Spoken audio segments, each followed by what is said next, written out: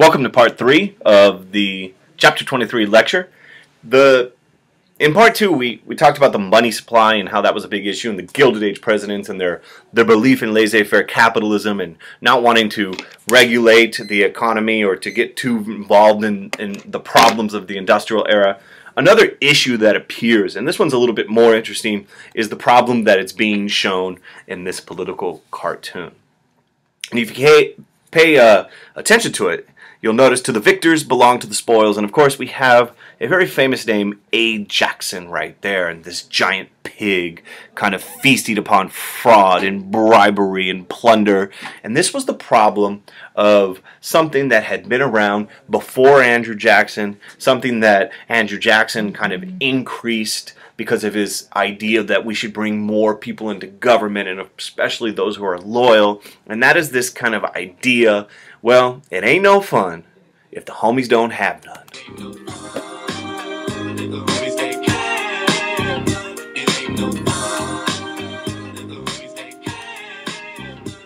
And that's the spoil system.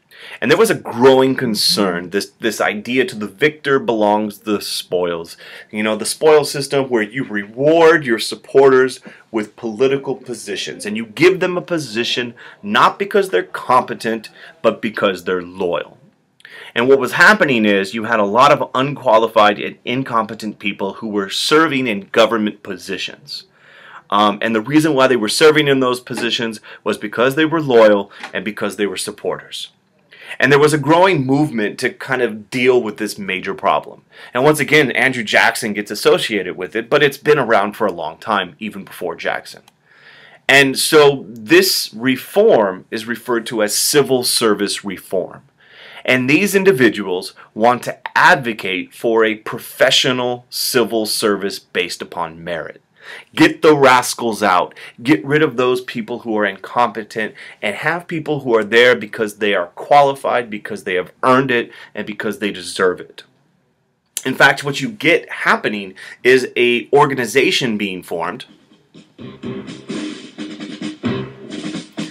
called the National Civil Service Reform League.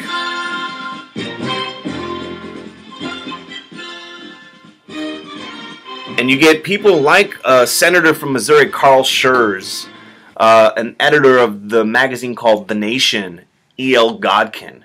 Um, you don't need to memorize these two guys' names, but they created an organization called the National Civil Service Reform League. And the whole purpose of that organization was to reform government and reform particularly the civil service, those who serve in government. Now, in 1870, unfortunately, the Republicans are divided again.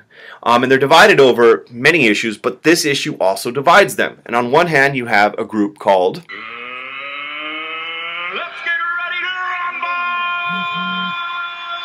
The Stalwarts.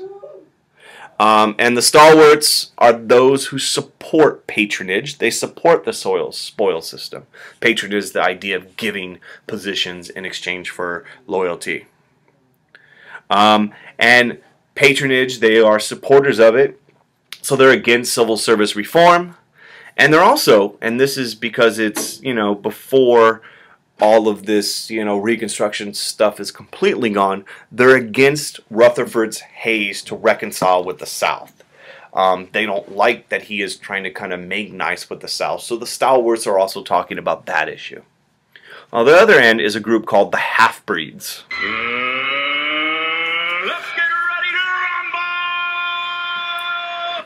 And the half breeds, not only do they back Hayes's lenient treatment of the South, but they also back civil service reform. And the leader of this group is a guy by the name of James Blaine. And he'll come up a couple times in your chapter.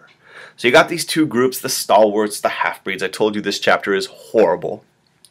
And in 1880, you have the Republican candidates running. You have James A. Garfield, running with Chester A. Arthur as his VP. And they're running on a platform of a high protective tariff, and they're also talking about reforming the civil service, reforming the spoil system.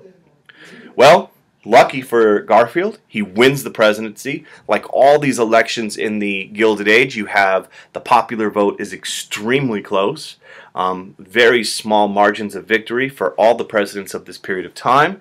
Garfield wins merely by 40,000 votes out of 9 million plus. Um, he becomes president, and not too long after, poor Mr. James Garfield is A. Getting a back spasm or B, dying. Another one bites the dust. Another one bites the dust. And another one gone. And another one gone. Another one bites the dust. Hey.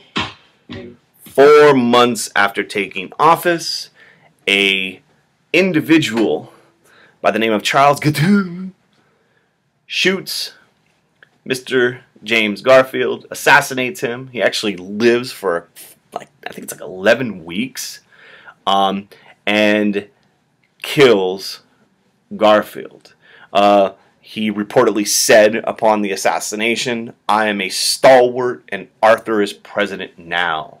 Uh, this was a guy who wanted to be appointed, and he basically kills the president with the gun you see right here.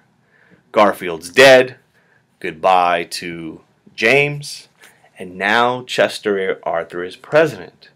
And there's even some talk, not not you know widespread, but there's even some talk that maybe Chester A. Arthur had something to do with this assassination. Maybe he did it to become president. You know, Chester A. Arthur had a reputation. He's really the symbol of corruption of the spoil system. He had benefited from this. And one of the things that Chester A. Arthur does, surprisingly, because he is, like I said, the symbol of this patronage and this corruption, is he decides to throw his support behind civil service reform. The sacrificial lamb, the civil service reform, you know, Garfield's death, a positive thing that comes out of it is that this kind of brings this issue to the forefront of American politics. And Chester A. Arthur, basically, the result of it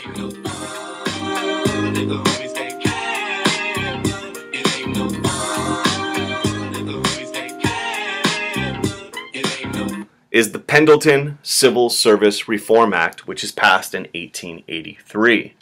The Pendleton Act, as it's oftentimes called, the Civil Service Act, is passed by Congress. Uh, it's named after the Senator of Ohio, George Pendleton, who helped sponsor it.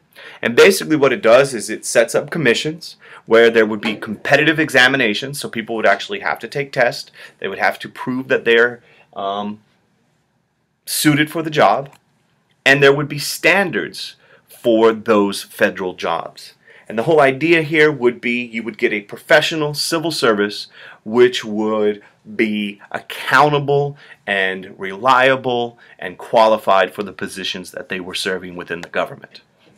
And so Chester A. Arthur uh, helps with this act, with Congress, helps create the professional civil service that, in theory, we have today, where the government would function based upon merit versus a sense of loyalty. At Chester A. Arthur as president, um, couple things to know. Civil Service Act. Uh, other than that, like I said, these presidents aren't going to do a whole lot, um, but we will see what happens to him in the next lecture. Because in 1884, Chester is going to say bye-bye, and we'll pick this up in Lecture 4.